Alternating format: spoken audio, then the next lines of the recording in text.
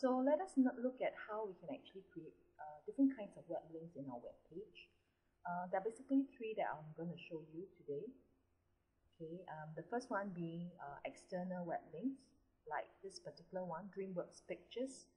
Okay, when I click on DreamWorks Pictures, it will bring me to an external website that is not uh, stored within my own web uh, domain.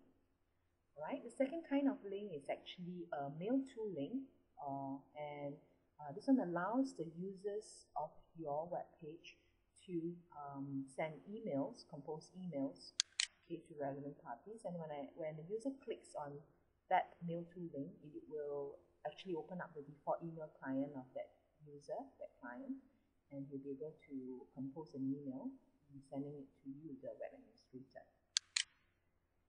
Okay, and third kind of is what we call an internal link. Okay, and like here I have actually attached an internal link to the image uh, of the cast okay? When the user actually clicks on the image it will bring uh, the user to uh, one of the internal web pages that you have created within your website. First and foremost let us first create our external link. Select DreamWorks Pictures okay and in the link text box I'm going to type in the URL of DreamWorks. Okay, that's done. So that's my external link. And if I preview in my Internet Explorer to check, right, I click on DreamWorks Pictures, actually to DreamWorks.com. Next, we are going to create the mail to links, okay, creating an email okay, to the uh, web administrator. So select web administrator, type in the link text box mail to, and the URL, the email address of the web administrator.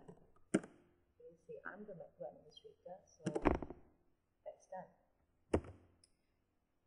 And the last kind of link that I'm going to create is actually the internal web links, which links me to other pages within my own website. So uh, I'm going to click on the image. Okay, this is the image. When the user clicks the image, he will be brought to, um, for instance, the characters page. So I'm going to uh, use the pointer here to drag.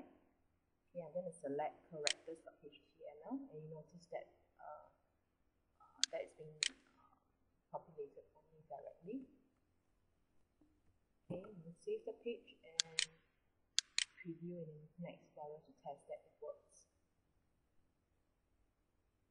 Okay, when I click on the image, it should bring me to characters.html, okay, which was created earlier.